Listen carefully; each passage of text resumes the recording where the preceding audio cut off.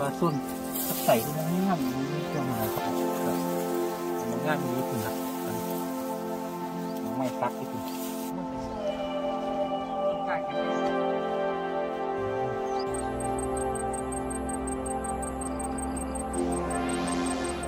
ข้าวคือชีวิตคำกล่าวที่แสดงให้เห็นถึงความสำคัญของข้าว ที่หล่อเลี้ยงชีวิตผู้คนหลายปากท้อง โดยเฉพาะคนแถบเอเชีย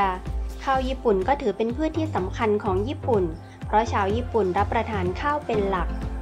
นายเสกสรรโพธิสารชาวบ้านสร้างก่ออำเภอกุจจับจังหวัดอุดรธานีบอกว่า แรงบันดาลใจในการปลูกข้าวญี่ปุ่นพันนี้ เกิดจากก่อนหน้านั้นเคยไปทำงานที่ประเทศญี่ปุ่น ได้กินข้าวญี่ปุ่นที่มีรสชาติอร่อย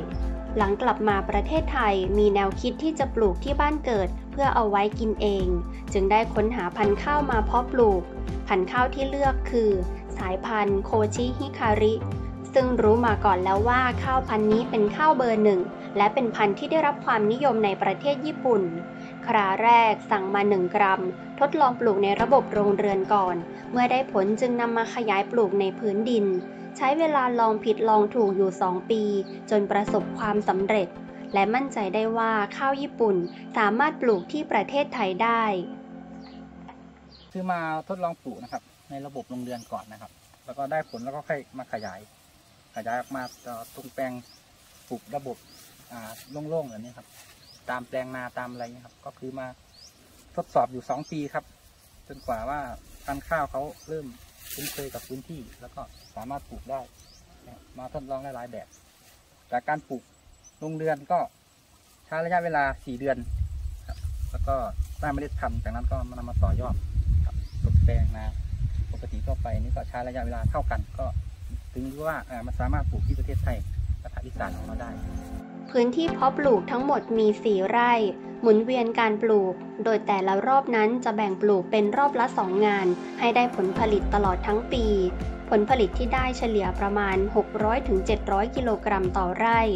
ปัญหาที่พบส่วนใหญ่คือนก ส่วนโรคที่มีในพืชนั้นมีน้อยมาก เพราะปลูกระบบอินทรีย์สำหรับการตลาดในการจำหน่ายผลผลิตนั้น ช่วงแรกคิดจะปลูกไว้กินเอง ช่วงหลังมีคนรู้จักมากขึ้น ก็เริ่มประกาศขายทางสื่อออนไลน์ มีคนสนใจซื้อไปกินจำนวนมาก นอกจากนี้ยังมีคนสนใจเข้ามาศึกษาเรียนรู้ในวิธีการปลูกอีกด้วย ราคาจำหน่ายข้าวเปลือก กิโลกรัมละ 500 บาท ส่วนราคาข้าวสารกิโลกรัมละ 100 บาท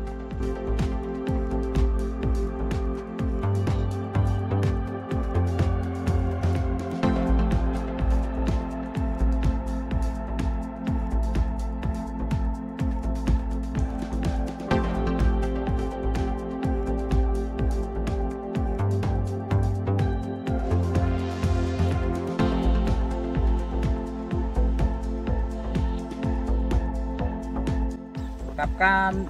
ต่อยอดของข้าวตัวนี้นะครับ ก็คือเรามองไปข้างหน้าคือเราทำเป็นเป็นข้าวสารนะครับข้าวสารที่ปลูกไว้ทานนะครับ แล้วก็ถ้ามีคนที่สนใจทำเป็นร้านอาหารหรือว่าทำเป็นอาอาหารกล่องทำเป็นซูชิอะไรเงี้ยครับก็คือต่อยอดไปตรงนั้นครับก็คือแปรรูปเป็นผลิตภัณฑ์เป็นสมุนเป็นอะไรน้ำนมข้าวอะไรประมาณนี้ครับ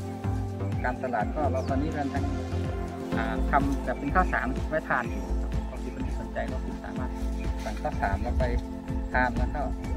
เมล็ดพันธุ์ก็คือเราส่งต่อให้ไปทดลองปลูกกันนะครับ ถ้ายังไงก็มาศึกษาเรียนรู้ที่นี่ก่อนครับ ถ้าทำได้ก็ค่อยนำเมล็ดพันธุ์ไปทำต่อสำหรับคนที่ยังมองหาพืชที่จะมาปลูกนะครับ ถ้าเป็นข้าวเนี่ยแนะนำเป็นเป็นข้าวที่มันมีมูลค่ามันสามารถทานเองได้แล้วก็ทำเป็นตลาดในชุมชนเราได้ครับ เช่นเราแปรรูปเป็นข้าวปั้นหรือว่าเป็นอาหารปิ่นโตอย่างเงี้ยครับ ก็ทำแปรรูปถ้าใครมีความรู้เรื่องทำการแปรรูปจะสามารถนำไปต่อยอดได้อีกเยราคาที่สูงค่าทางอาหารก็สูงนะครับ